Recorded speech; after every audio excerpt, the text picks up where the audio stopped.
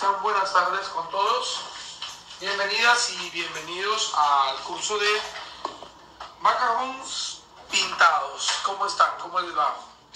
¿Qué me cuentan hoy día jueves? Después de tantas clases que ya han tomado con nosotros en la escuela, también quiero aprovechar para dar la bienvenida a los nuevos alumnos que, que están conectados, a los nuevos alumnos que ya pertenecen al Dulce Hecho Arte y para quien no me conoce, mi nombre es Juan Carlos, eh, che pastelero, con 20 años de trayectoria profesional. Y como cada inicio de cada clase, eh, le doy la bienvenida a cada uno de ustedes. Esperando como siempre que la clase sea de su agrado, que apliquen todas las técnicas que nosotros compartimos aquí en clase, que practiquen, que no se cansen de practicar, porque de eso trata la pastelería. Cada vez que yo, cada vez que yo miro una técnica que no la, no la conozco, yo me obsesiono mucho por esa técnica y no paro hasta que me quede bien. Y en todo, y como en toda la vida y en cualquier carrera profesional, es lo mismo. Es la práctica. Es muy bueno leer, la lectura va súper bien con nuestra carrera profesional, pero también de la mano va la práctica. Yo diría que un 60% práctica, un 40% lectura. Leer, leer, leer y poner en práctica lo que uno lee. Entonces hoy más que lectura, es técnica. Es técnica para pintar, es técnica para batir, es técnica para dar volumen, es técnica para dar claridad a una pieza, es técnica para lograr que una pieza no se rompa, técnica para aprender a, coser en un horno de cocina o un horno industrial, técnica para lograr que el macarón no te quede hueco, sino te quede piso eh, totalmente liso en la base, que no se descascare, que no se hunda, que no se reviente, que salga melcochudo, brillante. En realidad todo es técnica. Entonces, pero siempre digo, la técnica es muy importante, pero también es muy importante eh, recibir la técnica y practicarla. Y no cansarse de practicar. Entonces vamos a saludar con quienes estamos hoy. ¿Quién me acompaña hoy? Bueno, somos como 27, pero ahora solo está Angélica, buenas tardes. ¿Cómo está Lucero? Nuevamente, bienvenida Lucero Ormeño desde los Estados Unidos. Mercury Cruz, ¿cómo estás? Em, Ventura Chamorro, Cecilia Zúñiga, Rojas Melgarejo, Rocío, Rocío Cabanías, Dori Lozano, Vanessa Caro González, y bueno, hay muy pocos conectados. Eh, seguro que los otros entrarán más tarde, pero a los que están, eh, bienvenidas y bienvenidos. Y a los que no, también porque me van a ver luego. Vanessa Caro nos saluda desde Ayacucho. Bueno, todas las preguntas que tengan, hoy las voy a resolver. Eh, lo que tienen que hacer ustedes es solo preguntar y hay que tener en cuenta que este, el video se queda grabado para que puedan volver a verlo, para que puedan ustedes practicar algo que se les pasó son tres horas de clase, ojalá lleguemos a la, cuarta hora. Tengo bastantes cosas avanzadas y voy a ponchar más o menos lo que yo avancé en más o menos una hora y media. Miren, ahí está. Yo por cada, acá tengo 2, 4, 6, 8, 9. Por cada uno más o menos me demoro 8 minutos, 7 minutos. A medida que si trabajas en serie, pues te vas a demorar mucho menos pero si eh, trabajas de uno por uno intercambiando colores, sí que te vas a demorar bastante. Entonces la idea es optimizar tiempos, optimizar, poncha los macarrones por paneo a todos estos dos, es optimizar el tiempo para mm, que no, no te demoren mucho, porque si no, no es rentable. Imagínate por más bonitos que se ven los macarrones, si me demoro media hora en solo hacer una, uno, pues ya no es rentable para mí venderlo ni a 3, ni a 4, ni a 5, ni a 6, ni a 7, ni a 10 soles, porque me demoré media hora. Entonces uno tiene que buscar eh, una técnica que te permita optimizar primero el tiempo, optimizar el tiempo, luego trabajar en serie. importante trabajar en serie, porque gracias al trabajo en serie que uno hace, es donde uno avanza mucho más rápido, ¿ya? Y sí, es cierto que se ven bonitos, muy guapos, pero de nada vale el saber pintar o no saber pintar, porque ahora le voy a dar un truco, eh, si no sé hacer un macarón. Entonces, va a partir de ahí. Va a partir que hoy primero les voy a enseñar a hacer la galleta, el macarón, el relleno, la crema, y después me centraré en, en la pintada. Hay en internet muchas técnicas para aprender a pintar. Busquen, infórmense siempre y inténtenlo. Yo no sé pintar honestamente, yo no pinto casi nada. Eh, no es lo mío, es una de mis debilidades, eh, Pero siempre trato de esforzarme y de ver cómo y me las ingenio. Y algo sale bonito. Pero siempre busco la forma y practico. No es porque me dijeron, no, no sabes pintar, y yo sé que no sé pintar tan un Picasso ni nada pero sí que lo intento y hago mis cositas. ¿Ya? Lo mismo con ustedes, no es cosa del otro mundo. Unos pinceles delgaditos, mirar un poquito algo de teoría del color, chequear un poco algunos videos, unos tutoriales que hay mucho de cómo eh, iniciar a pintar en el, tema básico y ya está. mire qué bonito han quedado y con estos macarón pintados yo haré la otra tapa y pegaremos y nos quedarán muy bien. Después se ve medio borroso, dice, la señal se ve borroso. Bueno, acá me estoy viendo súper otro móvil. Eh, y bueno, a ver, traten de, chequear de nuevo. A ver, reinicien, reinicien, pues ustedes saben que la señal muchas veces en internet es un poco fatal, sobre todo en estos tiempos. Pero en este otro equipo lo veo muy bien. Lo veo súper bien. A ver, chequen y nuevamente reinicien, por favor, ¿ya? Vuelvan a reiniciar vuelvan a reiniciar para ver por qué se ve borroso. Me avisan cuando ya esté clara la imagen, ¿sí? Por favor.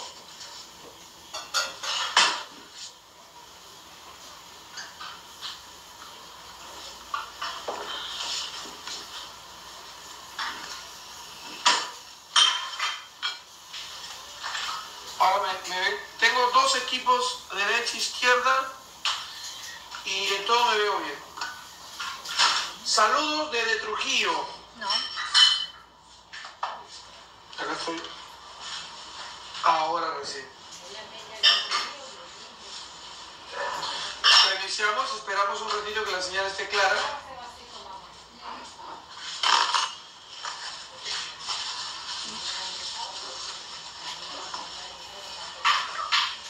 Marca primero.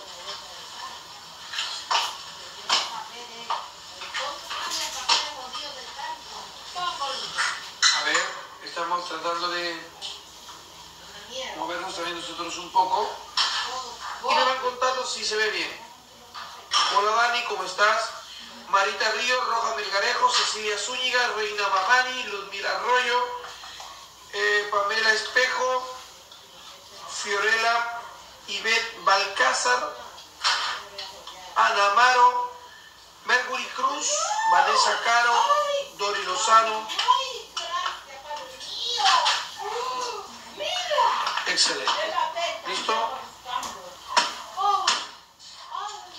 Ahora sí se ve más claro. ¿Me pueden avisar para dar inicio a la clase, por favor?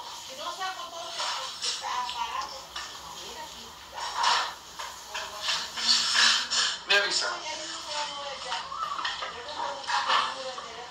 Bueno, acá al fondo tengo la torta Mavalerio. El smoking Mavalerio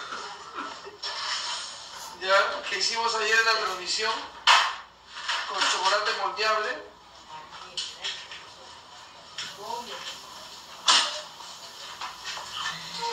A ver, ¿qué me cuentan? ¿Me ven? ¿Todo bien? Bueno, todo bien. Arrancamos. María, tu macarrones, por favor. Bueno. Listo. Todo bien. ¿Se escucha bien? ¿Me ven bien?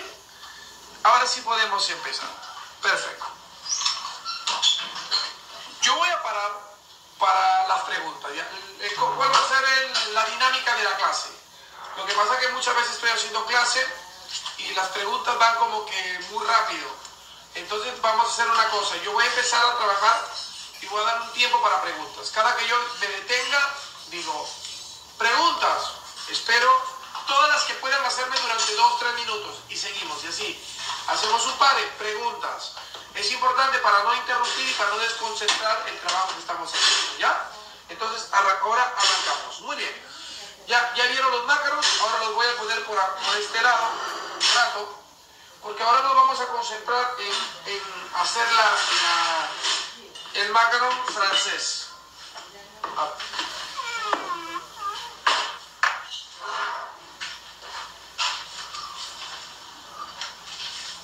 Podría dejarlo acá porque, al menos es grande. Bueno, ¿cuál es la principal característica de un macaron?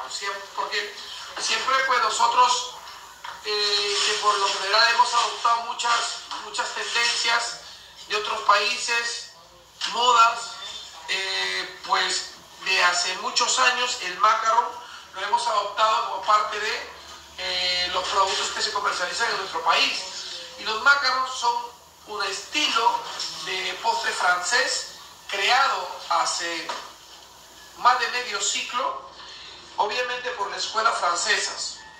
El macaron es la especie de un alfajor, cierto que tiene una capita que es brillosa, amelconchuda por dentro, tiene un piso en la base siempre, es húmedo, pero a la vez forma una ligera base o falda, que la ven ahí, que es como una chapita. ¿ven? Esa chapita se tiene que formar, pero eso tiene a última hora. Pero esto tiene una técnica. Esto tiene una técnica para hacerlo. Eh, lo vamos a hacer en, en, el horno de casa y otro lo vamos a hacer en el horno industrial. Voy a dividir la cantidad, ¿de acuerdo? Entonces, este postre de origen francés es altamente dulce porque lleva un montón de azúcar.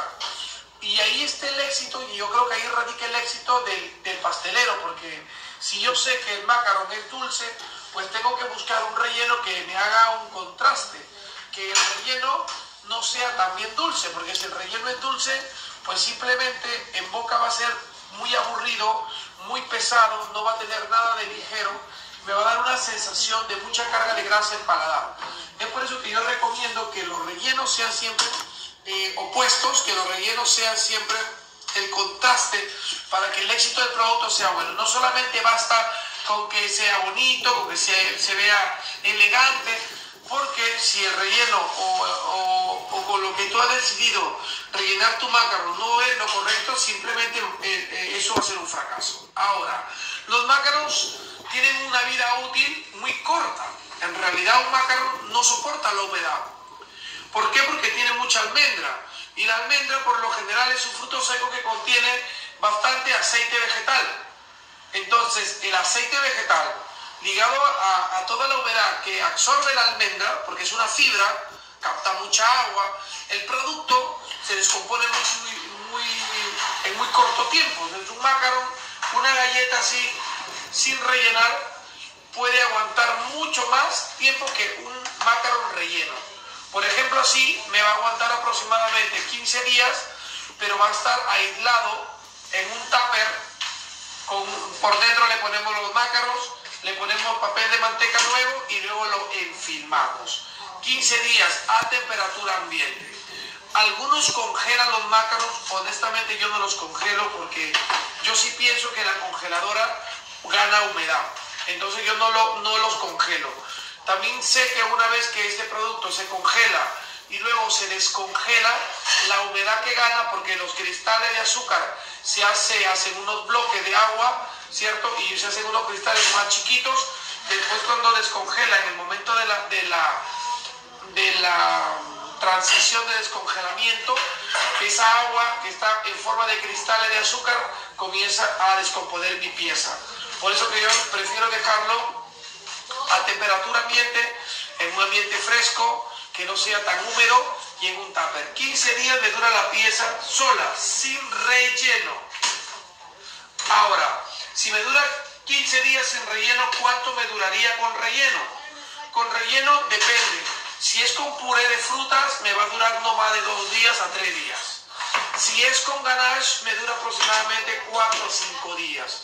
¿Qué pasa con el relleno? El relleno, con el transcurso de los días, comienza a humedecer la galleta, la base de la galleta. Y esa humedad traspasa por lo general al interior. Y eso hace que se descomponga. Como truquito para que te dure un par de días más, yo recomiendo que aquí se le pase manteca de cacao con una brocha a la base. La manteca de cacao, uh, ahorita me la van a pasar fundida, eh, va a endurecerse luego porque es una grasa saturada y esa manteca me va a crear como una película.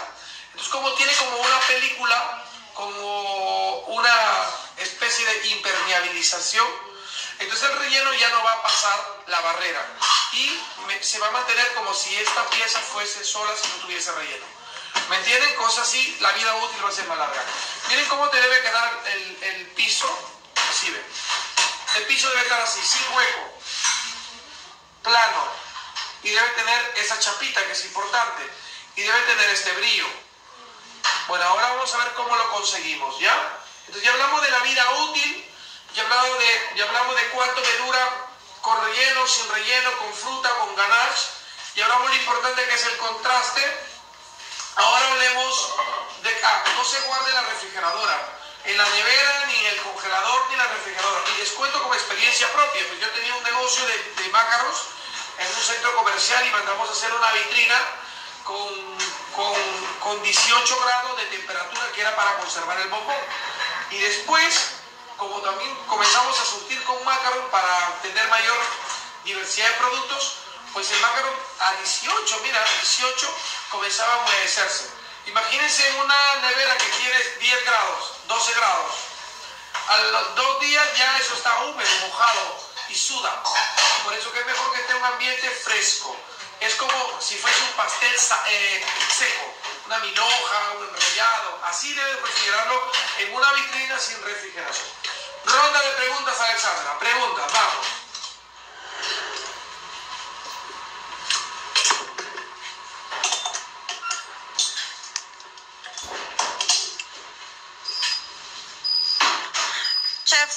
De cacao o puede ser cobertura? No, solo manteca. Lo que pasa es que la cobertura se va a endurecer. Aparte la cobertura es dulce. Entonces la idea es que no cambie el sabor, que, se respete el sabor del macarrón y del relleno. La manteca es cremosita, suave, suntuosa. Entonces es una película muy delgada. Y aparte que si es chocolate o cobertura, cuando este se cristaliza para cortar el macarrón se le va a partir en dos. ¿Y rellenos cubierto el piso con cacao cuánto tiempo dura? Eh, siempre dos, tres días más, de lo normal, de lo que dura un macarrón. ¿Y dónde consigo la manteca de cacao? ¿Dónde consigue? Bueno, en todos los puntos de repostería. Eh, hay que averiguar dónde, eh, pero en los puntos de repostería se consigue. Nosotros la tenemos porque yo fabrico chocolate y tengo manteca de cacao. Seguro que en Liz, en el mercado de Lobatón, la tienen. En Bon Marché lo venden, en el mercado de Lobatón. Después, en otros lados, salvo las fábricas que fabrican chocolate como Machu Picchu, podrían tener, o las ibérica, la orquídea, ellos venden eso. Chef, ¿se puede usar manteca vegetal? No, no, no, no la manteca vegetal es como si le pusiera, pues, bueno, manteca, que no tiene sabor, pero no te hace comer manteca cruda. Por eso que es mejor que le ponga manteca de cacao, que es finísima, una de, de dorizada, funciona mejor. Ahora, este, manteca de cacao, se debe conseguir también, asume en provincia, no lo sé, honestamente no lo sé, si es que venden manteca de cacao. Las veces que me ha tocado ir a Trujillo, a Chiclayo, a Piura, yo llevo mi propia manteca, porque si no, pues es un tema. Puratos también la venden, puratos. Bueno, vamos a empezar con, ¿ya no hay más preguntas? ¿No hay más preguntas? Bueno, vamos a buscar. Ahora sí, nos vamos con la elaboración. ¿Ya? El macaron tiene un, un ingrediente principal que es el polvo de almendras. Hay recetas, hay recetas que te piden harina de almendras. Harina de almendras. ¿Y qué es la harina de almendras? Presten atención, por favor, mucha atención. La harina de almendras es la molienda de la almendra sin piel. Sea, se pela la almendra, se blanquea la almendra en agua caliente, Se seca la almendra en el horno a 100 grados por 3 horas, 4 horas hasta que elimine la mayor cantidad de líquidos y luego se procesa en un robot o en un procesador o un molino por último si no tengo. Bueno, el resultado de esa molienda sin piel se llama harina de almendras. Quiere decir, el 100% de la almendra es la harina. ¿Y cuál es el polvo de almendras? El polvo de almendras es el famoso TPT. En Europa o en Francia se le conoce con estas siglas que es TPT, que significa tanto por tanto.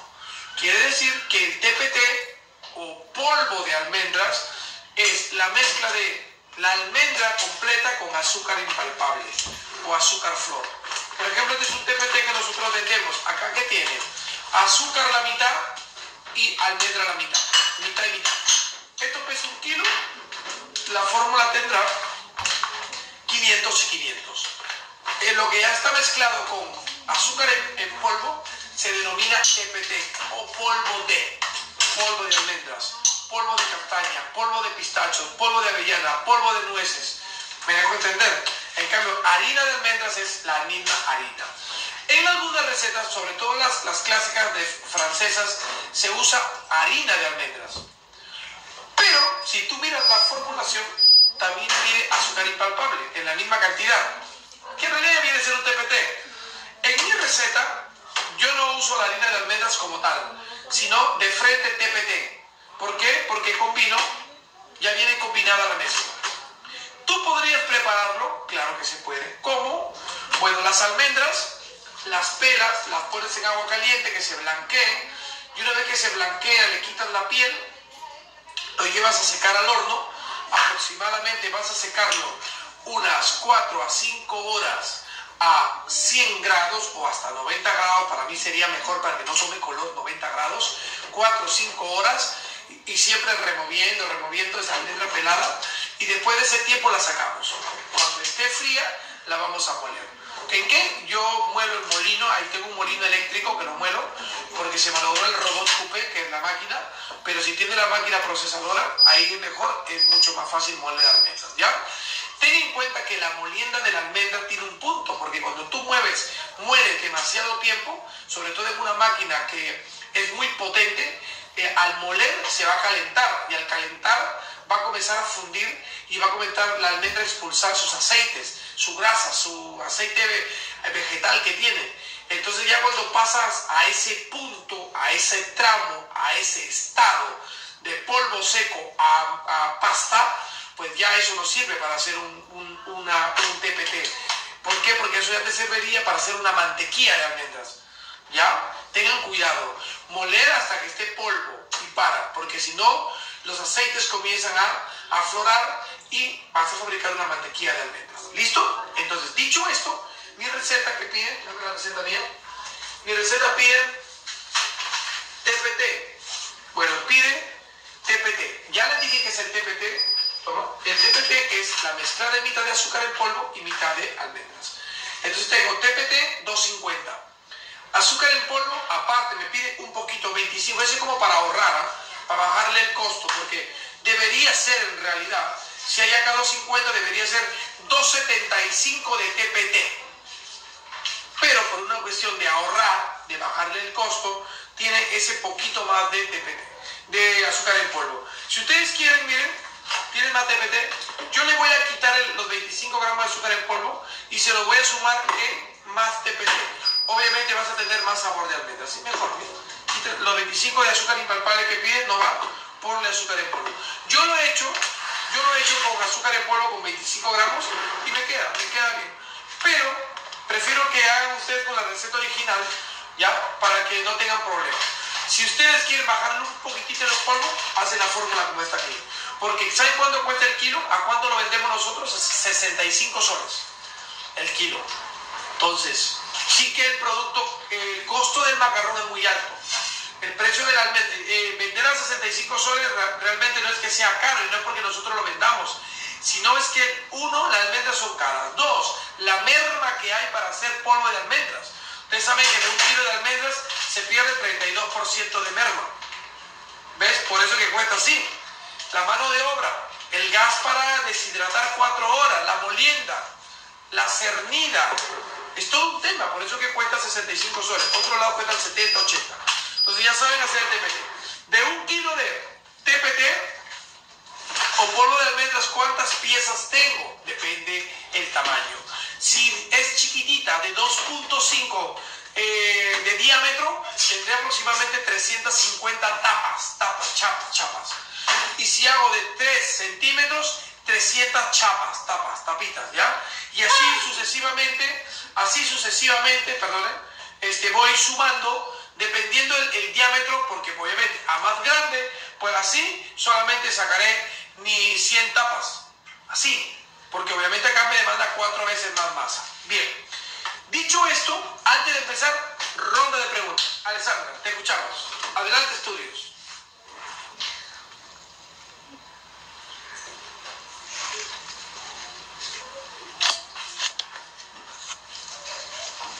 ¿La manteca de cacao la venden en la farmacia? Sí, pero la manteca de cacao de la farmacia es la manteca que tiene sabor. Hay algunas neutras. Bueno, por el momento ahorita por la pandemia pueden usar esa, pero neutra, pero te sale muy cara porque si tú te compras en medio kilo te dura una eternidad, porque se usa una, una pizca, un pelín nada más, por si acaso, ¿ya? Es la manteca de cacao, solo que para que la conviertan a esa manteca perfumada, pues obviamente la saborizan. La desdorizada es la que usamos nosotros, es desdorizada, es desdorizada porque no tiene la acidez que tiene la manteca cuando se extrae, porque es muy astringente. En USA, ¿dónde venderán? En los puntos de venta donde venden chocolates. ¿Se puede tostar en el microondas? No, es mejor que lo hagas en, en un deshidratador o en el horno por cuatro horas. Saludos a Chiclayo de Dulce Pasión, Raquel Nolasco. No lo estamos enviando a provincia porque ahora no hay transporte, pero sí lo enviamos. En provincia, en Chiclayo lo vende Cárdenas, en el mercado mayorista. A nosotros le enviamos a Cárdenas. Milagro Ricalde. Sí, ya estamos despachando Chocomédica, ya estamos despachando en Lima. Solo en Lima.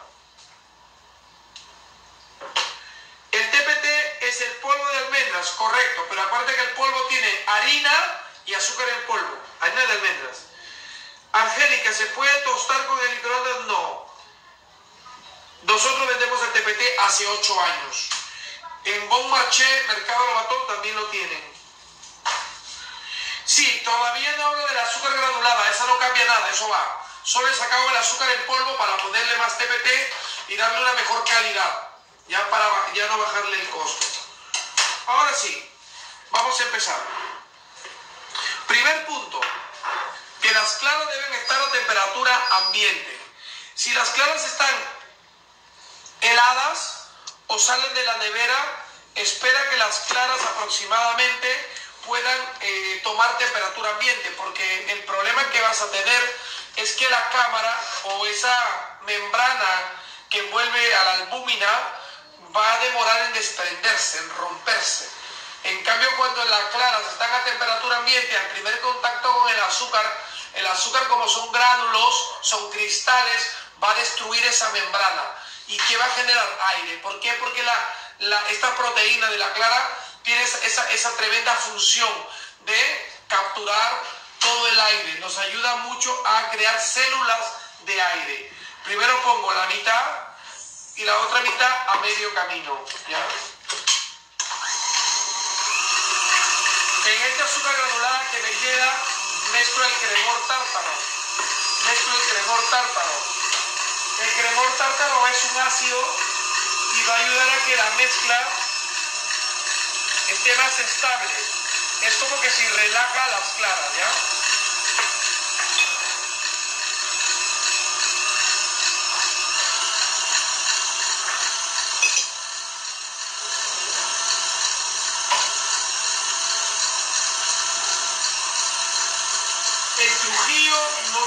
creo que hay en Trujillo. Por eso que cómo prepararlo ustedes, para que ustedes lo hagan con tiempo. No, Cajamarca no tenemos un distribuidor.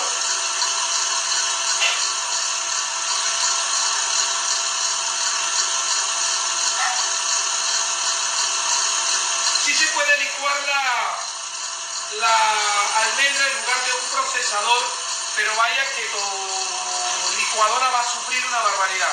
Miren cómo ya montó. Y ahora parte de azúcar que tiene que desmontar.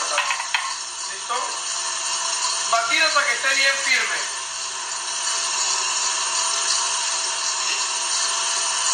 Por lo menos 5